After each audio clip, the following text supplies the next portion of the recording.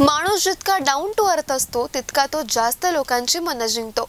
बीडमध्ये सध्या भाजपच्या पंकजा मुंडे यांच्याबाबत तसंच काहीसं घडताना दिसत आहे.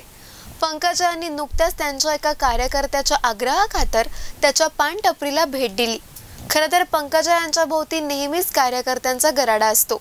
विशेष म्हणजे एका कार्यकर्त्याचा आग्रहाचा मान ठेवून पंकजा थेट त्याच्या पानटपरीवर पोहोचल्याने कार्यकर्त्यांमध्ये आनंदाचं वातावरण आहे.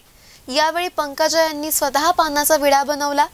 पंकजा बीडमध्ये एका कार्यक्रमानिमित्त आल्या असता कार्यकर्त्यांनी आग्रह करून पान टपरीला भेट देण्याची विनंती केली. कार्यकर्त्याच्या आग्रहाखातर पंकजा मुंडे यांनी शेख जमील यांच्या तारा पान सेंटरला भेट दिली. यावेळी पान सेंटरमध्ये गेल्यावर स्वतः पान तयार करण्याचा मोह त्यांना आवरता आला नाही. त्यांनी स्वतः पानाचा आस्वाद तर घेतलाच पण सोबतच्या सर्व सहकाऱ्यांनाही पान बनवून दिले. या प्रसंगाने उपस्थित गर्दीला पंकजा यांचे वडील दिवंगत लोकनेते गोपीनाथराव मुंडे यांची आठवण झाली. भाजपचे जिल्हाध्यक्ष राजेंद्र मस्के रमेश आडसकर अक्षय मुंदडा सर्जराव तांदळे आदी यावेळी सोबत होते. पंकजा यांनी बीड शहरातील बशीरगंज चौकात असणाऱ्या शेख जमील यांच्या तारा पान सेंटरला भेट दिली. त्यांनी स्वतःच्या पानाचा विडा देखील बनवला.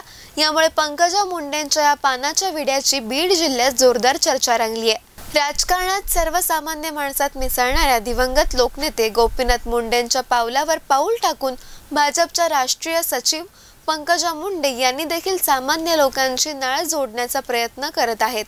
अशी चर्चा आता कार्यकर्त्यांमध्ये होत आहे.